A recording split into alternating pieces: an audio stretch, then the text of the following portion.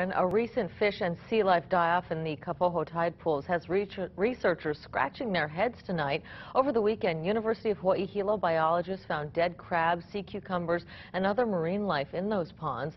Scientists took water samples to check for oxygen, salinity levels, and fecal matter. The researchers noticed the oxygen levels were particularly well low, as well as a brown tinge in the water.